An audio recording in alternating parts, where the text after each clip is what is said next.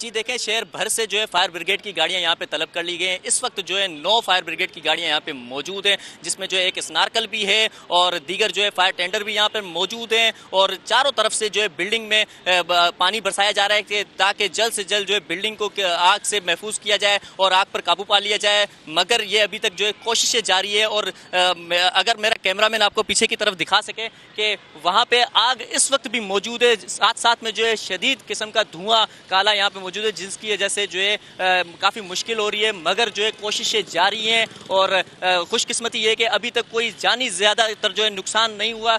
सिर्फ़ एक जो है, शख्स को निकाला गया वो किस तरह जख्मी हुआ है, वो बताया नहीं गया है। से नहीं, वो बल्कि दुकान के पीछे के हिस्से से कहीं से निकाला गया है और उसको भी फौरी तौर पर जो है, अस्पताल मुंतकिल किया गया है। मजीद जो है कोशिशें यही जारी हैं कि, जारी हैं कि, शहरियों को बाहिफाजत यहाँ से निकाला जाए। ठीक है, शायान साथ ही मौजूद रहिए। कराची का इलाका आयशा मंजिल, जिसके करीब फर्नीचर की दुकानों में ये आग लगी है। तेज़ी से फैलने वाली आग ने सात मंजिला रहायशी इमारत की बलाई मंजिलों तक भी रसाई, पाली है। और अब आपको ये बताते चलें कि फोम के गद्दों की दुकान में लगने वाली इस आग ने दीगर दुकानों को भी अपनी लपेट में ले लिया है। आग के शोले इमारत के ऊपर बने रहायशी फ्लैट्स तक भी पहुँच चुके हैं।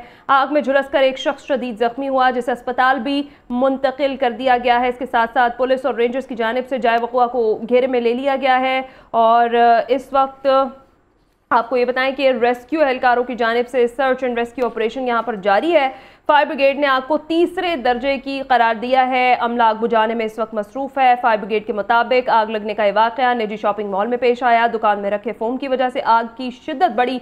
इब्तदाई मालूम के मुताबिक आग शॉर्ट सर्किट के बाईस लगी है और ये रश वाला इलाका है। यहाँ पर इमदादी सरगर्मियाँ सर अंजाम देने में भी रेस्क्यू एहलकारों को कुछ परेशानियाँ सामने आ रही हैं, क्योंकि यहाँ पर बड़ी तादाद में लोग सिर्फ़ आग देखने के लिए भी पहुँच चुके हैं।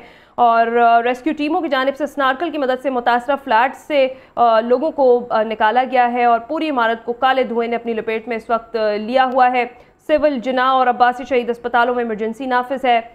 आपको बताते चलें कि कराची में आयशा मंजिल के करीब शॉपिंग मॉल में खौफनाक आतजदगी और फॉर्म की गद्दों की दुकानों में लगने वाली साग ने दीगर दुकानों को भी अपनी लपेट में ले लिया है।